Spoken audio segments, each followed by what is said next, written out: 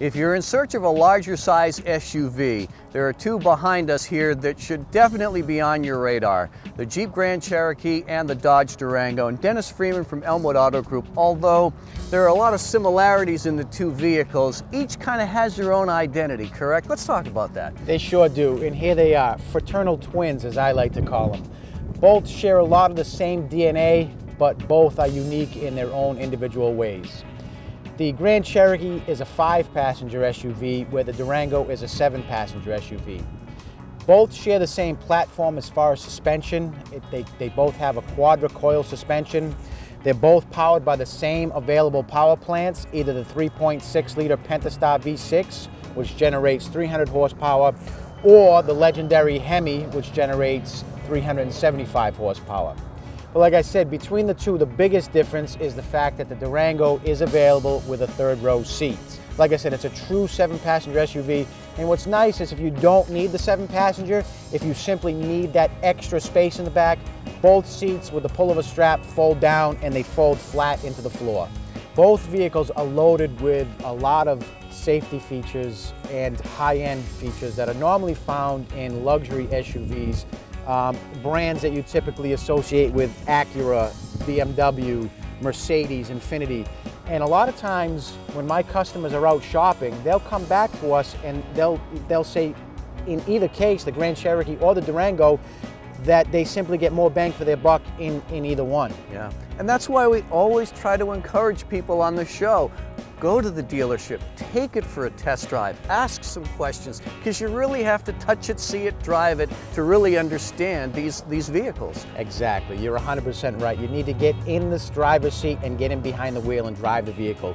And you can feel the, the, the, the, the how luxurious the leather is, the heated seats, the ventilated seats, the blind spot monitoring, the backup camera with eight and a half inch screen. Again, a lot of these items are associated with very expensive high-end SUVs, but here they are in both the Grand Cherokee and the Durango.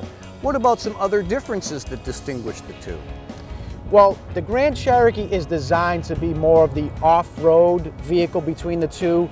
Of course, Jeep, the name Jeep is always associated with off-road, trail-rated.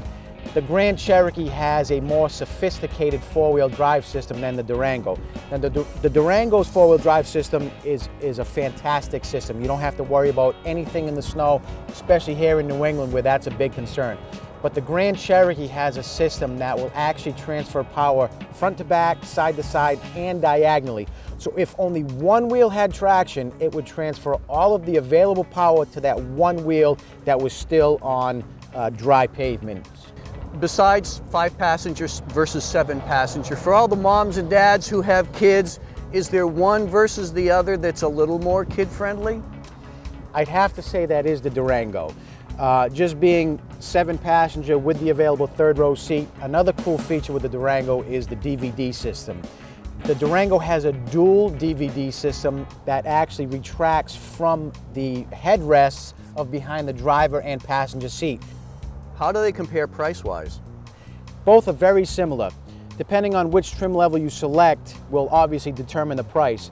But on the entry-level Durango, which still comes very nicely equipped with items such as power seats, power windows, power door locks, power mirrors, rear heat and AC, rear backup camera, which is now standard, and the same level of options for the Grand Cherokee. They start right around $30,000. And as you step up in trim levels, obviously you step up in price but each option package is comparable in each model. How's the availability at Elmwood? The availability is great. We stock as many SUVs as possible, especially during this time of year. The Grand Cherokee, which is award-winning, is one of our best sellers, as is the Durango, so we have plenty in stock to choose from. Well, Dennis, I think my conclusion is either way, can't go wrong. You really can't go wrong. Both are great choices, whether it's the Grand Cherokee or the Durango. Like I said, both are phenomenal values. I'd like to say that every month is a great time to buy a vehicle, but the end of the year and December where we're celebrating our end of the year blockbuster sales event, now is the time to come down, get yourself a great deal on a four-wheel drive SUV at Elmwood Auto Group in East Providence, Rhode Island.